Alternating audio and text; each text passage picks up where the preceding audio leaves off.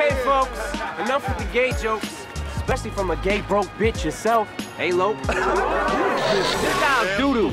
You worked here longer than me, and I get paid more than you do. Dog, take a seat. What's this guy standing in line for? He ain't got money to eat. Check this out. Yo, yo.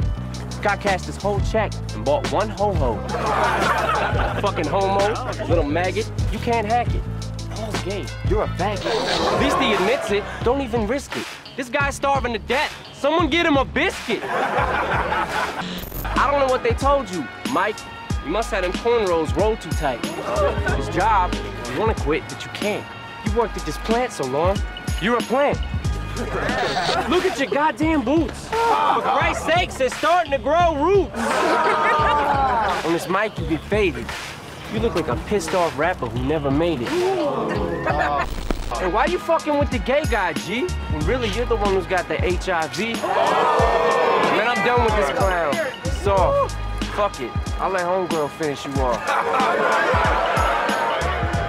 Guy like you, I never get a real woman, you jackass. Go jack off. That's the only way you Hey. coming. Looking for your brother?